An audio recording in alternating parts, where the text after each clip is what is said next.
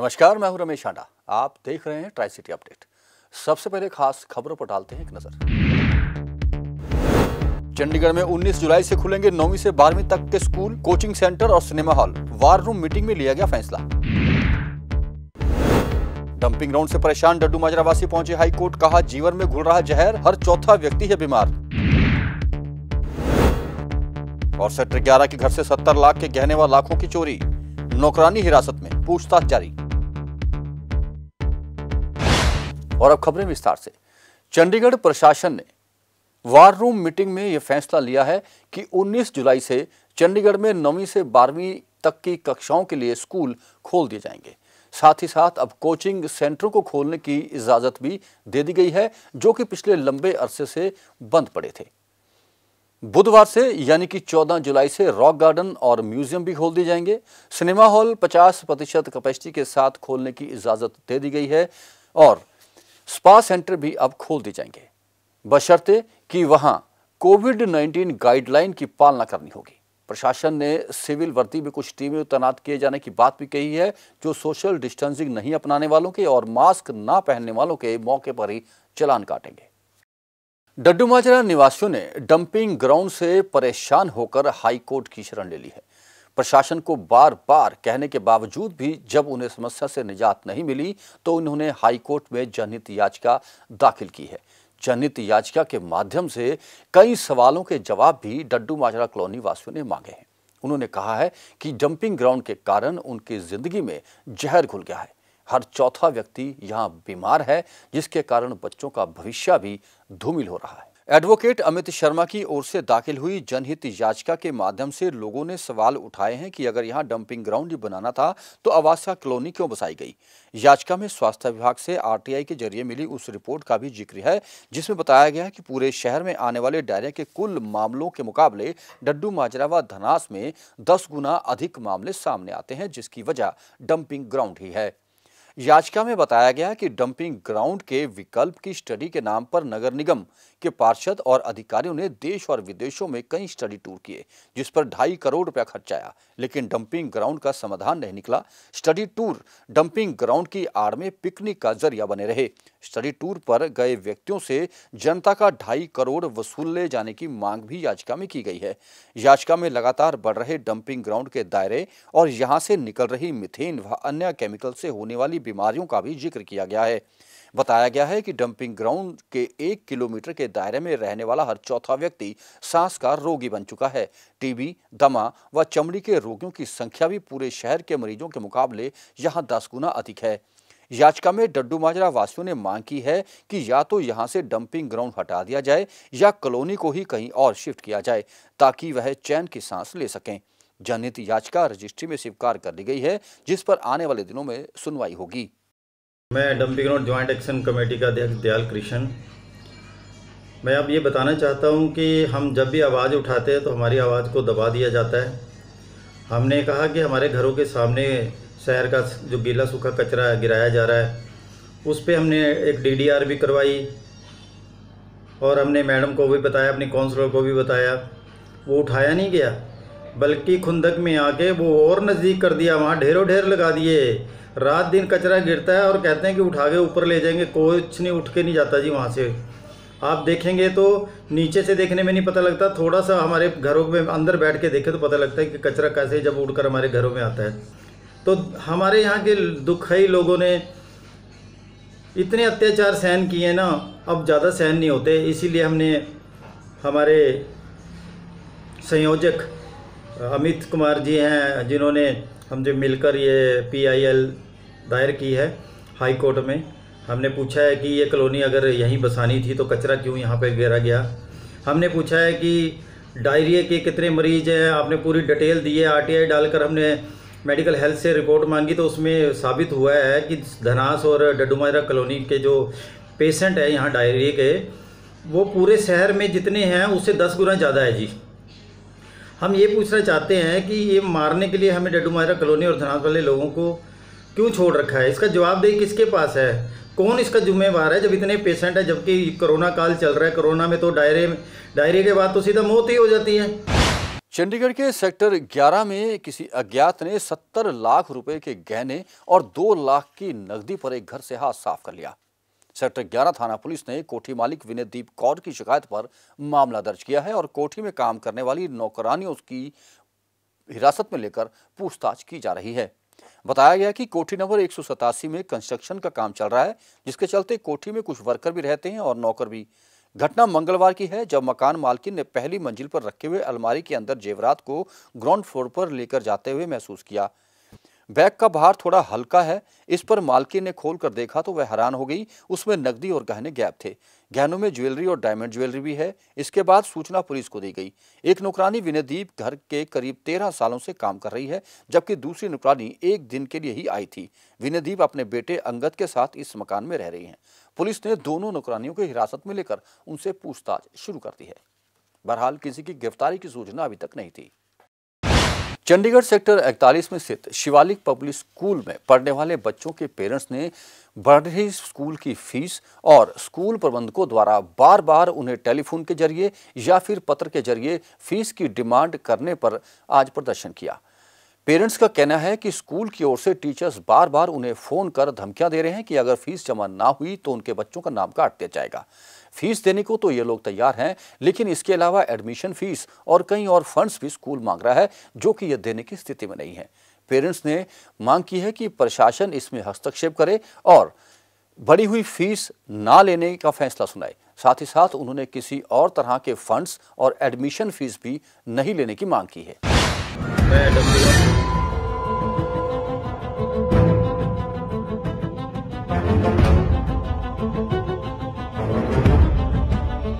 चंडीगढ़ के सेक्टर इकतालीस के शिवालिक स्कूल के बाहर छात्रों के अभिभावकों ने बढ़ी हुई स्कूल फ़ीस के विरोध में जमकर प्रदर्शन किया। प्रदर्शनकारी अभिभावकों ने स्कूल पर उन्हें और उनके बच्चों को फ़ीस के लिए परेशान करने के आरोप लगाए हैं। प्रदर्शनकारी अभिभावकों का कहना था कि कोरोना और लॉकडाउन के बाद से उनका बुरा हाल है। उनके बिज़नेस ठप पड़े हैं। इसके बावजूद स्कूल ने एनुअल फ़ीस बढ़ा दी है और टीचर उन्हें दिन में दो दो बार कॉल कर तंग करते हैं। ऐसे में उनका बच्चा कैसे पढ़ेगा? अभिभावकों का कहना था कि फ़ीस को लेकर उन्हें उनके बच्चों को स्कूल की ओर से परेशान किया जा रहा है। प्रदर्शनकारी अभिभावकों ने हाथों में होर्डिंग ले शिवालिक स्कूल द्वारा बढ़ाई गई फ़ीस का विरोध किया गया। इनका साफ़ कहना था कि शिक्षा सभी का अधिकार है। शिक्षा कोई व्यापार नहीं प्रदर्शनकारी अभिभावकों का साफ़ कहना था कि स्कूल प्रशासन जल्द से जल्द बढ़ी हुई फ़ीस वापस ले। सर, देखो डिप्रेशन में तो बच्चे जाते ही हैं। बच्चों को होता है कि मेरा नाम कर जाएगा, स्कूल नहीं पढ़ाएँगे मैडम, ठीक है?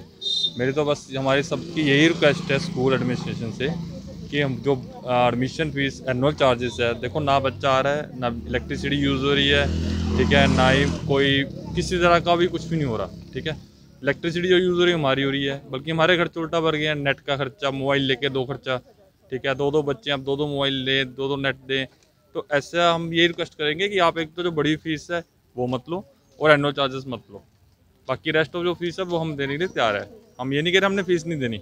आ, हम यही कहना चाहते हैं कि जैसे इन्होंने पिछले साल जो फ़ी लिया था ठीक है ना वही लें और जो इन्होंने बढ़ोतरी की है फ़ी में वो वापस लें ठीक है? और एनुअल चार्जेस जो इन्होंने लगाया है वो भी वापस लें। ये कि एक तो फ़ीस बढ़ बढ़ रखी है, ठीक है? फ़ीस हम पेरेंट्स के लिए देना मुश्किल है क्योंकि कोरोना का चक्कर है। कोरोना के चक्कर में हमारा बिज़नेस बिल्कुल ठप हो गया है। एक हमारे को रोटी खाने की मुश्किल हो रही है फ़ीस हम भर सकते हैं, मगर एडमिशन फ़ीस जो ये ले रहे हैं, बेफालतू का, वो ये लोग ना ले, वो हम ये रिक्वेस्ट कर रहे हैं। क्योंकि हमारे लिए वो प्रॉब्लम है। मैं अपने बेटे की फ़ीस भर चुकी हूँ, क्योंकि वो plus one plus one commerce में है, इसलिए क्योंकि बच्चों की पढ़ाई भी ज़रूरी है। अगर हमने फ़ीस भरी है तो उसमें भी इनको एडजस्टमेंट करनी चाहिए, और फ़ीस इनको कम करनी चाहिए। सरकार ने जब बोला एडमिशन फ़ीस नहीं लेनी है तो ये लोग क्यों ले रहे हैं? और बच्चों के साथ में ये बहुत ज़्यादा बुरा, बर्ताव भी करते हैं। मैं यही कहना चाहती हूँ कि ये लोग हमारे फ़ीस कम करें। तो पंजाब में मोहाली और पटियाला और नवाशहर में इनका स्कूल है। नवाशहर और पटियाला का फ़ीस बहुत ही कम है और इधर शिवाली की दो साल से एडमिशन फ़ीस नहीं लिया इन लोगों ने। उसमें लिखा हुआ आता है एडमिशन फ़ीस नहीं ली है। पर ये लोग, हम लोगों से हर साल एडमिशन फ़ीस भी लेते हैं और वो भी लेते हैं। बढ़ाते भी हैं, हर साल बढ़ती है। चलो, बढ़ रही है फ़ीस हम ठीक है। पर एडमिशन फ़ीस तो कम करें, पाँच हज़ार, सात हज़ार कर लेते। जे, इन्होंने एडमिशन फ़ीस भी लेनी थी तो पाँच हज़ार ले लेते। दस हज़ार लेने का क्या मतलब है? अब जिनके दो बच्चे पढ़ रहे हैं या तीन बच्चे पढ़ रहे हैं, उनके लिए देना कितना मुश्किल है? कोरोना काल में जहाँ लोगों के काम धंधे चौपट पड़े हैं तो वहीं ऐसे में प्राइवेट स्कूलों की ओर से फ़ीस बढ़ाया जाना अभिभावकों पर एक बड़ा बोझ है। और यही वजह है कि अभिभावकों को यूँ हाथों में होर्डिंग ले प्रदर्शन करने को मजबूर होना पड़ रहा है। पंजाब केसरी टीवी के लिए चंडीगढ़ से भगवत सिंह की रिपोर्ट। पंचकुला के सेक्टर 10 में स्थित स्टेट बैंक ऑफ़ इंडिया में पैसे जमा करवाने एक युवक के साथ। फिल्मी स्टाइल में कुछ लोगों द्वारा ठगी करने का मामला सामने आया है। यह शख्स यहाँ पच्चीस हज़ार रुपये जमा करवाने आया था, जिसकी मदद के लिए वहाँ खड़े कुछ लोगों ने उसे एक पैकेट पकड़ाया। उसमें कहा कि दो लाख रुपए हैं। उन्होंने उसकी मदद के बहाने पच्चीस हज़ार रुपये और मोबाइल फ़ोन लिया और वहाँ से फरार हो गए। कुछ देर तक जब उन लोगों का कुछ पता नहीं चला तो उस व्यक्ति को पता चला कि वह ठगा गया है। पकड़ाया गया पैकेट जब खोला गया तो उसमें कागज़ के टुकड़े थे। इसकी सूचना तुरंत पुलिस को दी गई। पुलिस ने मौके पर आके सीसीटीवी कैमरे की फुटेज खंगाली और मामला दर्ज कर दिया है।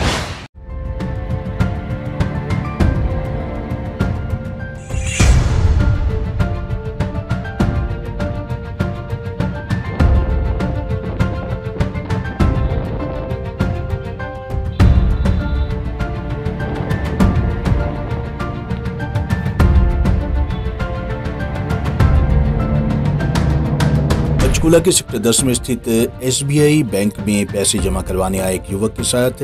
फिल्मी स्टाइल में कुछ लोगों द्वारा ठगी करने का मामला सामने आया है। युवक अपने बैंक खाते में पच्चीस हज़ार रूपए जमा करवाने आया था।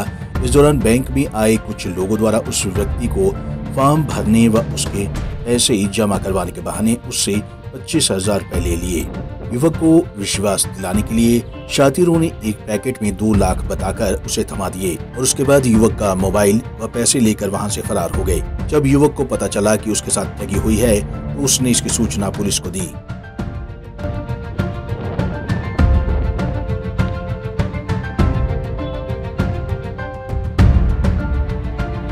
सर मैं आया था बैंक में पैसे लगाने हाँ। और उसने मेरा बोला कि ये दो लाख रुपया रखो। और उसके बाद उसने मेरा अथी मोबाइल ले लिया बोला कि दो मिनट बाहर में मैं बात करके आता हूँ। उसके बाद उसने फ़ोन भी ले लिया और पच्चीस हज़ार मैं रखा था वो पच्चीस हज़ार बाहर में वहाँ पर जाके ले लिया वहाँ पर रुपया उसने बोला कि भरोसे के तौर पर रखो। आपके पास भी वन वन टू से मैसेज आया था कि सेक्टर दस में एस के पास मैसेज तो उसी टाइम हम तीन मिनट के अंदर यहाँ पहुँच गए का मौका देखा और फिर लोकल पुलिस के खबर लेकर दिया सेक्टर दस का मुख्य इंचार्ज ने बताया कि मैं एटीएम से पच्चीस हज़ार रुपये निकाले थे और एक पर्ची पर दी थी और आया तेरी पर्ची कर दिया दूसरी तेरी पर्ची भर दी अपना मोबाइल दे दी तो और मेरे दो लाख रुपए मेरे रख रहे सबूत के तौर पर उसने दो हज़ार रुपये उसमें से निकाले भी और बाकी बंद करके उसने दे दिया। ऐसा मैंने रखी थी थी जैसी दो लाख की। कम तक की हो जैसी तो उसके बाद वो पैसे भी ले गया और उसका मोबाइल भी।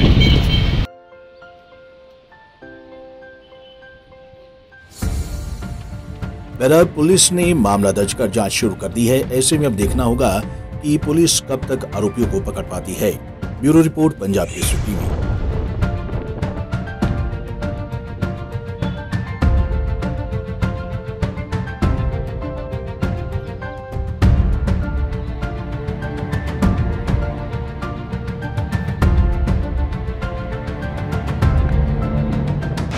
Derabassi के सरकारी अस्पताल के डॉक्टरों ने पूरी तरह से हड़ताल कर दी है।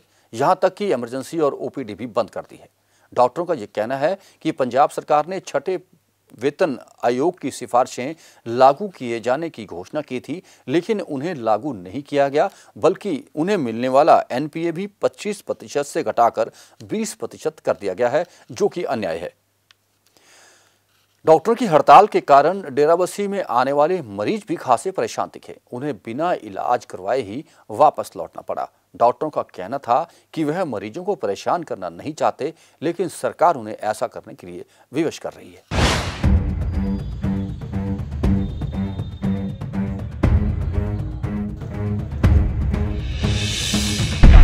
पेशेंट तकलीफ़ तकलीफ़ हो रही है पेशेंट दिक्कत आ रही है।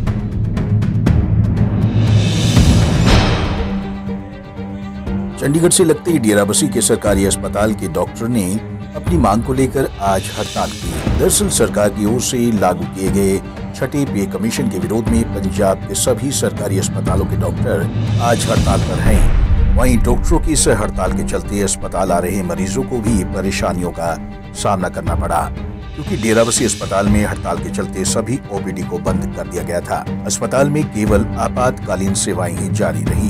वहीं इस हड़ताल को लेकर डेराबसी सरकारी अस्पताल के डॉक्टर संदीप कुमार ने बताया कि सरकार द्वारा लागू किए गए छठे पे कमीशन में सरकार ने उनका एम पी ए पच्चीस प्रतिशत ऐसी कम करके बीस प्रतिशत कर दिया है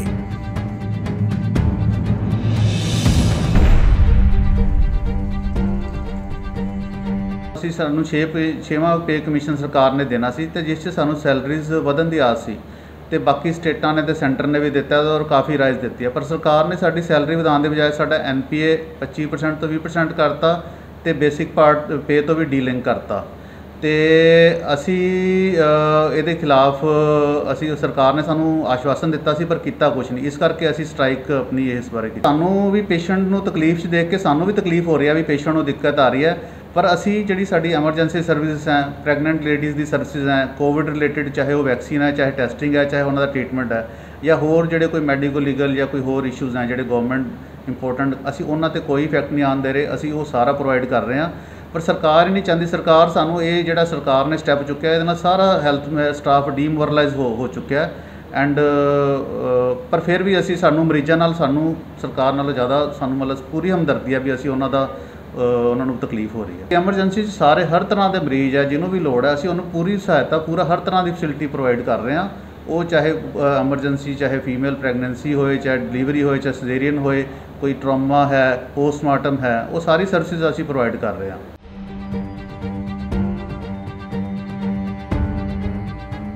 हड़ताल के चलते डेराबसी सरकारी अस्पताल में स्वास्थ्य सेवाओं पर खासा असर पड़ा अस्पताल आने वाले मरीजों को परेशानियों का सामना करना पड़ा पंजाब के टीवी के लिए डेराबसी से कुलदीप कुमार की रिपोर्ट।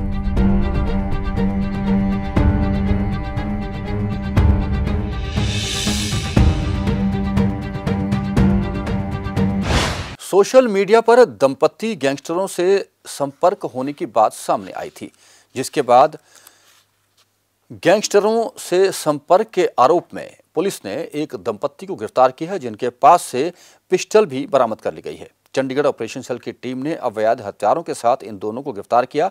पकड़े गए आरोपियों की पहचान सेक्टर 25 निवासी राहुल उर्फ़ साबू और उसकी पत्नी हिना के रूप में हुई है। पुलिस को दोनों के पास से 9 एमएम का पिस्टल, एक बत्तीस एमएम पिस्टल समेत 10 ज़िंदा कारतूस भी बरामद हुए हैं।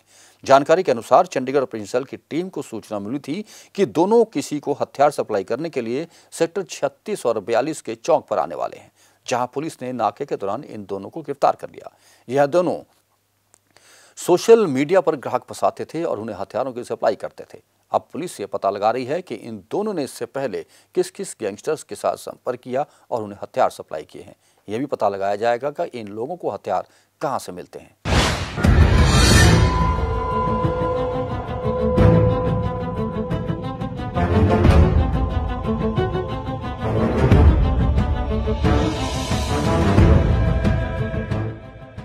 सोशल मीडिया के माध्यम से गैंगस्टरों से संपर्क कर उन्हें पिस्टल सप्लाई करने वाले पति पत्नी को चंडीगढ़ ऑपरेशन सेल की टीम ने अवैध हथियारों के साथ गिरफ़्तार किया है। पकड़े गए आरोपी की पहचान सेक्टर 25 निवासी राहुल उर्फ़ साबू और हिना के रूप में हुई है। पुलिस को दोनों के पास से एक 9 एमएम का पिस्टल और एक 32 एमएम पिस्टल समेत 10 ज़िंदा कारतूस बरामद हुए हैं। जानकारी के अनुसार चंडीगढ़ ऑपरेशन सेल की टीम को सूचना मिली थी कि दोनों किसी को हथियार सप्लाई करने के लिए सेक्टर 36 बयालीस की विभाजित सड़कों से निकलने वाले हैं। सूचना पर पुलिस ने फ़ौरन वहाँ पर नाका लगाकर आने जाने वाले वाहनों की चेकिंग शुरू कर दी। इस दौरान जब कार चालक को रोककर तलाशी ली गई तो इन दोनों की सीट के बगल से हथियार बरामद हुए, जिसके बाद दोनों को गिरफ़्तार कर लिया गया। गिरफ्तारी के बाद दोनों को जिला अदालत में पेश किया। जहाँ से दोनों आरोपी को अदालत ने पाँच दिन की पुलिस रिमांड पर भेज दिया है।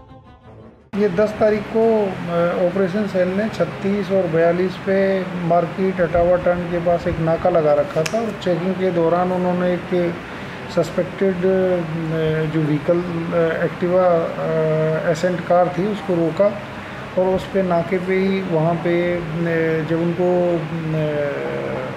उन लोगों को रोका तो वहाँ से एक कंट्री मेड पिस्टल और फाइव लाइव कार्ट्रेज उनसे मिले। और ये पॉइंट थर्टी टू बोर का पिस्टल था और लाइव कार्ट्रेज थे। और ये हस्बैंड वाइफ है। इनका नाम बाद में पता चला राहुल है। ये सेक्टर 25 का रहने वाला है। उम्र इसकी कोई 24 साल के करीब और इसकी जो वाइफ है, वो हिना है और वो भी चौबीस एक साल की ही है। तो ये इसका कोई वैलिड लाइसेंस वगैरह नहीं दिखा सके तो इनके खिलाफ फिर एफआईआर दर्ज करके कार्रवाई करेगी। इनका रिमांड लिया है और अंडर इन्वेस्टिगेशन है। ये किसी को सप्लाई करते थे और इस तरह की चीज़ में इन्वॉल्व थे और बाकी इंटेरोगेशन के दौरान इसका पता किया जा रहा है वो। फ़िलहाल पुलिस पकड़े गए पति पत्नी से पूछताछ कर रही है और उसे पूरा यकीन है कि पूछताछ के दौरान दोनों से कुछ बड़ा खुलासा हो सकता है। पंजाब केसरी टीवी के लिए चंडीगढ़ से कुलदीप कुमार की रिपोर्ट।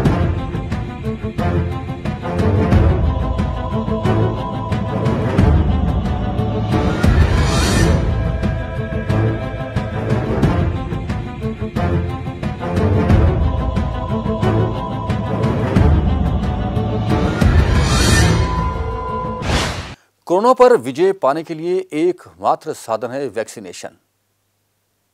मोरनी के पहाड़ी क्षेत्रों में 312 गाँव में से 40 गाँव में शत प्रतिशत वैक्सीनेशन का लक्ष्य पूरा कर लिया गया है, जो कि एक बड़ी उपलब्धि मानी जा रही है, क्योंकि इन गाँवों में इंटरनेट की सेवाएँ भी मौजूद नहीं है। कोरोना को मात देने के लिए आज के समय में एकमात्र हथियार है वैक्सीनेशन। ऐसे में सरकार और प्रशासन लगातार कोरोना वैक्सीनेशन पर ज़ोर दे रही है। इसके लिए लगातार विशेष अभियान चलाया जा रहा है। सरकार लगातार शत प्रतिशत वैक्सीनेशन पर ज़ोर दे रही है। इसी कड़ी में हरियाणा के पंचकुला के पहाड़ी इलाके मोरनी हिल्स में प्राथमिक स्वास्थ्य केंद्र की टीम ने जिला टीकाकरण के दिशा निर्देशों पर कुल 312 गाँवों में से 40 गाँवों में शत प्रतिशत टीका करके एक बड़ी उपलब्धि हासिल की है। इस पहाड़ी इलाके के गाँव में जहाँ इंटरनेट की सुविधा भी नाम मात्र रही है और अन्य कई साधनों और सुविधाओं का अभाव है, वहाँ 40 गाँव में टीकाकरण का शत प्रतिशत लक्ष्य हासिल करना एक बड़ी बात है। प्राथमिक स्वास्थ्य केंद्र मोरनी हिल्स के इंचार्ज डॉक्टर उज्जवल जीत सिंह ने बताया कि अभियान के तहत सभी 312 गाँव में टीकाकरण की शुरुआत की जा चुकी है और 18 से 44 आयु वर्ग के सभी लाभार्थियों को पहली डोज दी जा चुकी है। डॉक्टर उज्जवल जीत सिंह ने यहाँ पर आने वाली कठिनाइयों के बारे में भी बताया। हमारे यहाँ जो कोविड के टीकाकरण का अभियान चला, उसमें हमने 312 गाँव को कवर किया। 312 गाँव में से 40 गाँव को हमने फुली वैक्सीनेटेड कर दिया। जो सरकार की स्कीम है 18 टू 44 वाली, उनको एटलीस्ट फ़र्स्ट डोज हमने दे दी है प्रोवाइड कर दी है। इस अभियान में हमें काफ़ी समस्याओं का सामना करना पड़ा।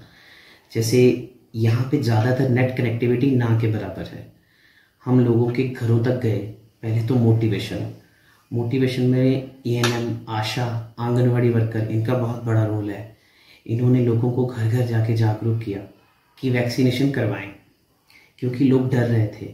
लोगों में एक डर था कि वैक्सीनेट करवाने से बुखार आता है, शारीरिक कमज़ोरी आती है। इन सब समस्याओं को विस्तार पूर्वक डिस्कशन किया गया लोगों के साथ मिल करके तो आशा और आंगनवाड़ी की बैकबोन होने के नाते मुझे बहुत सपोर्ट मिला। हमने लोगों को घर घर जाके मोटिवेट किया। उसके बाद क्योंकि नेट का इशू था तो हमने लोगों को उन्हीं के गाँव में जहाँ पे थोड़ी बहुत नेट की सुविधा बन रही थी वहीं पे उनका रजिस्ट्रेशन करके वैक्सीनेट किया। वहीं इन गाँवों में वैक्सीन लगवा चुके लोगों का कहना है कि कोरोना वैक्सीन लगवाने को लेकर स्वास्थ्य विभाग की टीम ने उनकी अच्छी खासी मदद की है और अब वे और लोगों की भी वैक्सीनेशन को लेकर प्रेरित कर रहे हैं। कोरोना की दोनों वैक्सीन ले ली हैं। इस वैक्सीन का कोई साइड इफ़ेक्ट नहीं है।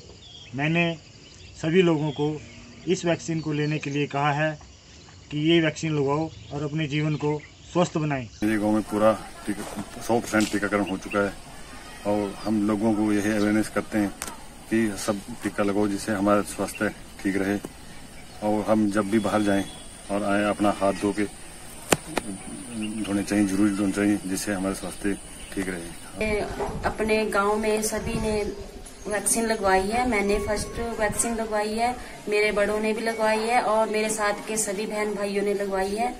और इससे मेरे को कोई दिक्कत नहीं आई है और मैं सभी को जो भी मेरे बहन भाई मिलते हैं जिन्होंने नहीं लगवाई है मैं उनको सभी को समझाती हूँ कि इससे कोई दिक्कत नहीं आती है। जिन्होंने नहीं लगवाई है वो भी लगवाने की कृपा करें। हमने पहले सुना था लोग तरह तरह की बातें करते थे लेकिन हमारे जो हेल्थ डिपार्टमेंट है, यहाँ पे आशा वर्कर है या दूसरे डिपार्टमेंट है बार बार हमारे गाँव में आते रहे और हमें समझाते रहे, हम लोगों को समझाते रहे। और सबसे पहले हमने वैक्सीनेशन किसी डर के था हमारे अंदर, उसके बावजूद भी हमने वैक्सीन वैक्सीनेशन लगाया। सबसे पहले मैंने और मेरी माता जी हैं, वो 90 नब्बे साल के नियर अबाउट हैं। तो उन्होंने हमने सबसे पहले वैक्सीन यहाँ पे लगवाई है और उसके बाद हमने पूरे गाँव को और जैसे हॉस्पिटल से ये आते थे आशा वर्कर आते थे और एन वगैरह या जो भी स्टाफ था वो सारे आते, हमें बार बार गाँव को समझाते थे। उसके बाद हमने गाँव को समझाया कि वैक्सीनेशन लगाना बहुत ही ज़रूरी है कि हमारे इस करके हमने सबसे पहले दो वैक्सीनेशन हमने, अब हमारी पूरी हो चुकी है, और उसके बाद हमारे गाँव मेरे ख्याल हंड्रेड परसेंट जो हमारे गाँव की जो वैक्सीनेशन वो पूरी हो चुकी है। वहीं इस वैक्सीनेशन अभियान में आंगनवाड़ी वर्कर और एएनएम कर्मचारियों का बड़ा सहयोग रहा। एएनएम और आंगनवाड़ी वर्कर्स ने ही लोगों को वैक्सीन लगवाने के लिए प्रेरित किया और इस अभियान में लगातार आगे होकर काम किया, जिसका नतीजा है कि आज 40 में से 100 प्रतिशत वैक्सीनेशन हो चुका है। मैं गाँव खरोद की आंगनवाड़ी वर्कर हूँ। मेरे गाँव में 98 लोगों को वैक्सीन लगनी थी और सभी के वैक्सीन लग चुकी है। हमने शुरू शुरू में हमें बहुत दिक्कत आई लोगों को समझाने के लिए। आंगनवाड़ी वर्कर, आशा वर्कर और एएनएम हमने घर घर जाकर लोगों को समझाया और फिर टीका लगवाने के लिए कहा। हमने लोगों को कहा, टीका लगवाने के साथ साथ मास्क और बार बार हाथ धोना बहुत ज़रूरी है। हमारा यहाँ का जो टारगेट है मतलब एक सौ इकतीस का पॉपुलेशन है और जो यहाँ का टारगेट है वो 98 की 98 का है, जिसमें से 98 के हमारे जो पूरे टारगेट था, वो पूरा हो चुका है। मतलब यहाँ पे हमने गाँव गाँव में घर घर जाकर लोगों को मोटिवेशन मोटिवेट किया कि इंजेक्शनों के लिए तो लोग मानने लोगों ने हमारी बात को माना और लगवाया। अब भी मैं लोगों को यही संदेश देना चाहती हूँ कि अगर आपको वैक्सीन लग चुकी है, तब भी आप इन बातों का ध्यान रखें कि जब भी आप बाहर से आए तो बार बार हाथों को धोएँ, अपने बच्चों को मतलब अपने बाहर से आने के बाद उनको अपने पास ना बुलाएँ और मतलब बार बार हाथों को धोए, दो गज की दूरी, मास्क है ज़रूरी, जो हमारे प्रधानमंत्री मोदी जी का भी कहना है कि जो वो संदेश देते हैं कि जैसे कि वैक्सीन कढ़ाई मतलब वो है ज़रूरी तो फिर मतलब हम लोगों को आपस में दो गज की दूरी बनाए। कोरोना विशेषज्ञों के मुताबिक कोरोना वैक्सीन लगने के बाद कोरोना संक्रमित होने का खतरा काफ़ी कम हो जाता है। ऐसे में ज़रूरी है कि सभी लोग कोरोना वैक्सीन लगवाएँ और कोरोना को मात दें। पंजाब के टीवी के लिए पंचकुला से ब्यूरो रिपोर्ट। बढ़ती महँगाई को लेकर कांग्रेस का प्रदर्शन जारी है। इसी कड़ी में मंगलवार को सेक्टर सतारा नगर निगम कार्यालय के बाहर महिला कांग्रेस की कार्यकर्ताओं ने जमकर विरोध किया। इस अनोखे प्रदर्शन में महिलाओं ने थालियाँ बजाई और यह सभी महिलाएँ सब्ज़ी बेचते हुए नज़र आई। इनका कहना था कि बढ़ती महँगाई के कारण उनके पास अब यही एकमात्र ज़रिया बचा है कि वे सड़कों पर सब्ज़ियाँ बेचें, क्योंकि मोदी सरकार ने उनके घर का बजट हिला के रख दिया है।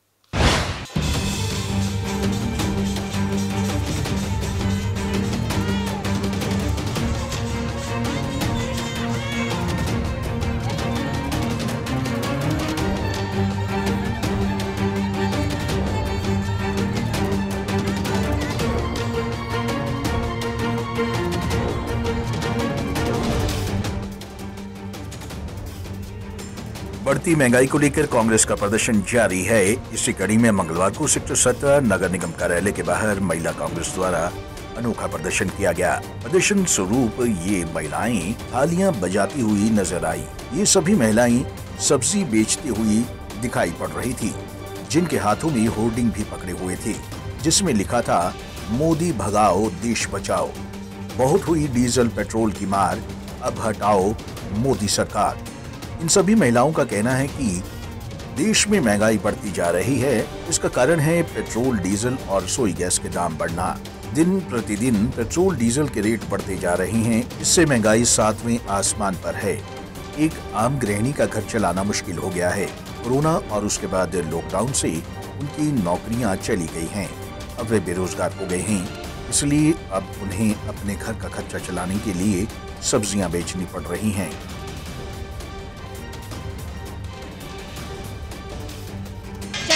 महिला कांग्रेस की तरफ़ से आज हम लोग सड़कों के ऊपर सब्ज़ियाँ बेचने पे मजबूर हो गए हैं। यहाँ पे जितनी महिलाएँ बैठी हैं, वो सारे प्रोफेशनल हैं। कोई ऑफ़िस में जॉब कर रही है, कोई टीचर है, कोई लेक्चरर है, कोई डॉक्टर है, कोई प्रोफेसर है, कोई वकील है।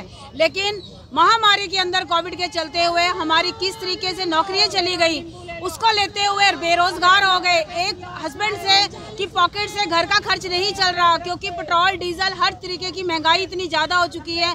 हम लोग आज सड़कों के ऊपर हैं। हमने सोचा कि सब्ज़ी तो एक ऐसी चीज़ है जो हर व्यक्ति की ज़रूरत की साधन है। लेकिन आज हम यहाँ सब्ज़ी लेके बैठे हुए हैं। एक भी गाहक अभी तक सुबह से नहीं आया। और जिसको भी हम कह रहे हैं कि भाई सब्ज़ी ले जाओ, वो व्यक्ति कहता है, जी, मैं तो दाल चावल खा के अपना गुजारा कर लूँगा। मैं इतनी महँगी सब्ज़ी नहीं ले सकता। अब आप हमें बताइए कि हम कहाँ जाएँ? ना हमारा रोज़गार रहा, ना हमें सब्ज़ी बेचने के लिए कोई ग्राहक आ रहा है। और दूसरा तो दूसरा, ये एमसी ऑफ़िस वाले जो के के यादव जी हैं, हम लोग ये कहते हैं कि आप वेंडर्स अगर नहीं दोगे हमें फ़ीस तो आपको, आपका लाइसेंस जो है वो कैंसिल कर दिया जाएगा। मुझे ये बताओ, आज हम सड़क के ऊपर हैं वेंडर्स बने हुए हैं वेंडर्स हम जब कमाई नहीं कर रहे तो हम आपको क्या दें? भूख मरी हुई हुई है। आप मुझे ये बताएँ कि आपने कोरोना में कौन सा पैकेज हम लोगों के लिए दिया जो आप हमसे तीन तीन हज़ार रुपया, दो दो हज़ार रुपया लाइसेंस फ़ीस मांग रहे हो? शर्म आती है ये कहते हुए मोदी सरकार, ये बीजेपी का एक अखाड़ा बन चुका है अंदर नगर निगम। किस तरीके से इन्होंने लोगों के साथ वेंडर्स के साथ धोखा दिया और उनको आज ये मजबूर कर रहे हैं कि हम तुम्हारा लाइसेंस कैंसिल कर देंगे? चंडीगढ़ महिला प्रदेश की तरफ़ से मोदी जी को ये बताना चाहते हैं कि आम जो गृहिणी है, वो कितनी मुश्किलों से गुजर रही है इस टाइम हम लोग मिडिल सारे ही मिडिल क्लास से बिलोंग करते हैं। हमारा ये संदेश मोदी जी तक पहुँचना चाहिए कि एक, ये सब्ज़ी के रेट पेट्रोल के रेट आपने, हर चीज़ के रेट बढ़ा के आपने आम जनता को बिल्कुल इस टाइम पे ज़मीन पे ला दिया है। उनको आपने ये घर में जो चूल्हा जलता है, तेल इतना महँगा करके जो घर में चूल्हा जल के है, उनके भी आसार अब ख़त्म होते नज़र आ रहे हैं कि अब घर की गृहणियाँ चूल्हा भी जलाने के टाइम पे सोचती हैं कि कहीं गैस ना ख़त्म हो जाए, कहीं हमारा राशन कहाँ से आएगा या हम खर्चे कहाँ से करेंगे? क्योंकि घर में अगर हम सिर्फ़ सब्जियों का देखें, गैस का देखें, बच्चे भी पढ़ाने हैं, बाकी काम भी करने हैं, बाकी कहाँ से चलेगा? तो हमारा मोदी जी को ये संदेश है, इन चीज़ों के दाम कम करो ताकि ये जो देश है, जैसे पहले चल रहा था, वैसे ही चले। हमें मोदी जी के अच्छे दिन नहीं चाहिए। गौरतलब है कि बढ़ती महँगाई को देखते हुए कांग्रेस ने बीजेपी पर हल्ला बोलना शुरू कर दिया है। ऐसे में अब देखना ये होगा कि बढ़ती महँगाई पर सरकार क्या कदम उठाती है या फिर ये प्रदर्शन यूँ ही जारी रहते हैं। पंजाब के सी टीवी के लिए भगवत सिंह की रिपोर्ट। और अब कोरोना अपडेट। ट्राई सिटी में गुजरे 24 घंटों में मात्र 10 नए मामले सामने आए हैं और खुशी की बात यह है कि एक भी व्यक्ति कोरोना से जंग नहीं हारा। जी हाँ, चंडीगढ़ में गुजरे 24 घंटों में मात्र दो पेशेंट सामने आए, जबकि पंचकुला में भी दो और मोहाली में छह नए कोरोना पेशेंट आए हैं। और अब मौसम की जानकारी। रुक रुक कर हो रही वर्षा और हवाओं के बीच मौसम सुहाना होता नज़र आ रहा है। तापमान भी अधिकतम मात्र 33 प्रतिशत रिकॉर्ड किया गया और न्यूनतम तापमान भी घटकर 24.8 डिग्री सेल्सियस रह गया है। मौसम में नमी की मात्रा बढ़ गई है, जो कि छिहत्तर प्रतिशत रिकॉर्ड की गई। आने वाले 24 घंटों में मौसम विभाग का अनुमान है कि रुक रुक कर बारिश जारी रहेगी। ट्राई सिटी अपडेट में अब तक के लिए इतना ही। फिर हाजिर होंगे कुछ और समाचारों और सूचनाओं के साथ। तब तक के लिए रमेश हांडा को पूरी टीम के साथ दीजिए इजाज़त। नमस्कार।